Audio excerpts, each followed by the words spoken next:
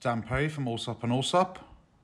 We have this two bedroom, three bathroom property in Al Majara.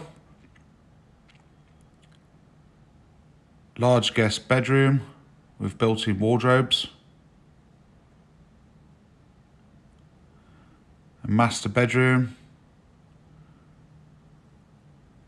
Ensuite.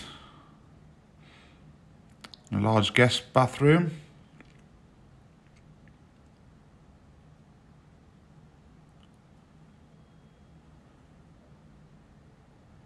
Kitchen area and a large living and dining area with access to a terrace with a marina and community view.